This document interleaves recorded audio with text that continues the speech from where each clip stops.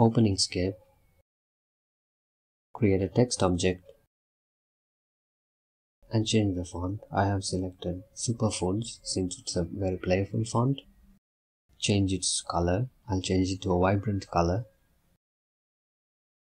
I'll rename the object as base. Now duplicate and rename it as base 2. Duplicate it again and let's rename it as shadow with a white color. Send the shadow backwards. Now right click and set mask. Now change the blur level and give it a vibrant color. Now you can see there's a light effect. The layer should be light, not shadow. Now duplicate the base layer, duplicate it again, rename it as base 2. Duplicate it again, now rename it as shadow.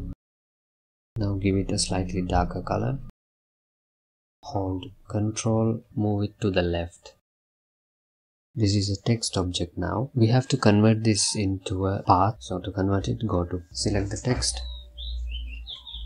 go to path, object to path, object ungroup and path union. Now this is a single object. Let's rename this as shadow. Do the same thing for the base too.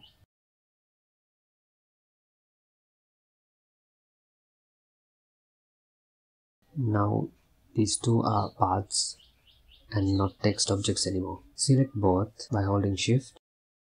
Now we are going to get the difference of both paths so that we can get the edges of the text. So select both and go to path difference.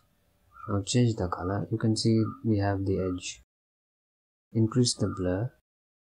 Now you can see if you increase the blur, the text blur goes outside the base text.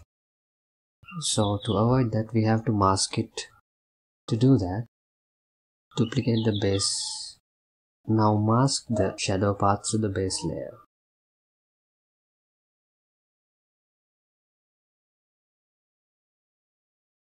Now when you increase the blur, it doesn't go outside of the text. You can give it a dark color. You can see there's a 3D effect because of the perceived shadow. Move the base layer to the bottom. Now you can see we have the light and the shadow layers. You can adjust the colors to a suitable level. You can experiment with the colors. Now draw a rectangle and send it backwards so that you can give a nice background. After a lot of experimentation with colors, I have landed with these colors. This is how you create a playful 3D like text in Inkscape. Hope you like this. Thanks for watching.